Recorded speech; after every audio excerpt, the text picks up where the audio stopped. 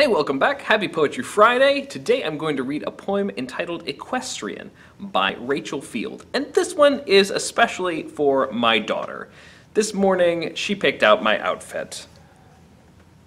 And at first I was going to wear something different. Um, so when she offered me this brightly colored pastel tie and pink shirt, I said, well, actually, I think I'm going to wear something else.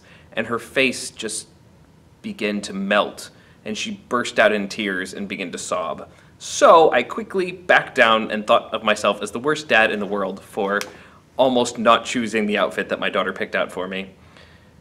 So this is a poem, it's an old poem, and it, I'm familiar with it because of Natalie Merchant, who set it to music. She takes a bunch of old poetry and sets it to music. It's pretty fantastic.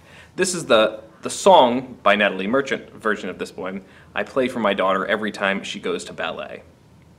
It's called Equestrienne. See, they are clearing the sawdust course for the girl in pink on the milk-white horse. Her spangles twinkle, his pale flanks shine.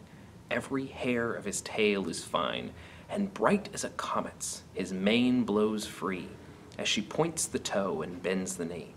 And while his hoofbeats fall like rain, over and over and over again, and nothing that moves on land or sea will seem as beautiful to me as the girl in pink on the milk-white horse, cantering over the sawdust course. Hope you have a great day. Thanks for watching, and make sure if you have a daughter that you wear whatever she tells you to wear. And I'll see you next week. Bye-bye.